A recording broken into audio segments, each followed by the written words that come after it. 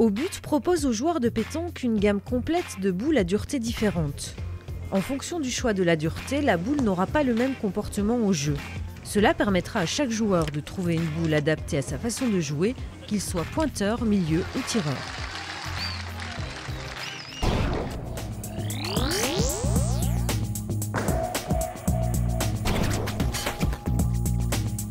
Voici les différentes duretés développées par Obut. Testons les rebonds des boules en fonction de leur dureté. C'est parti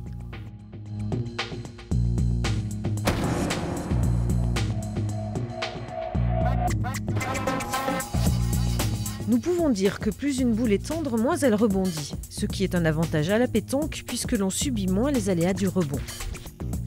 Nous allons vous démontrer que ce qui est valable en théorie l'est aussi sur le terrain. Bye.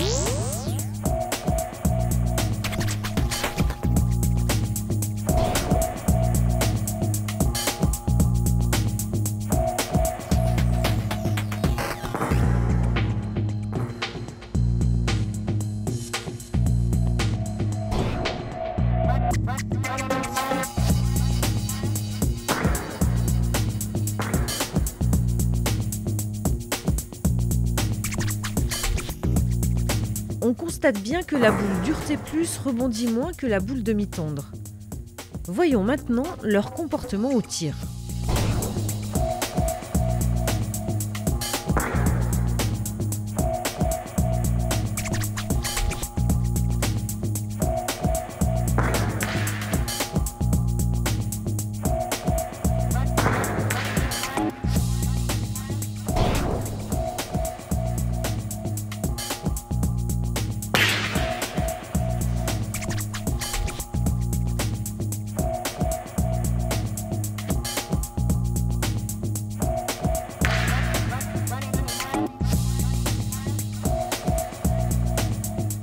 Les boules dureté plus bénéficient d'un recul minimisé lors d'un tir plein fer et permettent ainsi d'augmenter les chances de faire des carreaux. Grâce aux innovations technologiques des équipes au but, les boules à dureté plus ont le comportement en jeu d'une boule très tendre tout en ayant un niveau d'usure comparable à une boule demi-tendre. Pour les joueurs de pétanque de haut niveau, pointeurs ou tireurs, la dureté plus met en valeur le jeu d'attaque sur terrain difficile.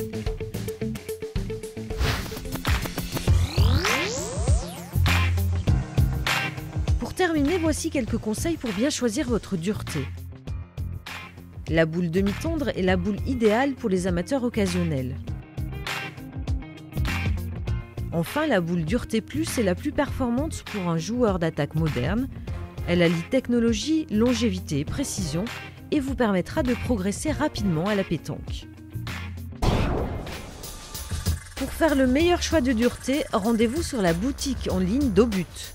D'ici là, restez fidèles au but, tenez-vous à carreau, un point c'est tout.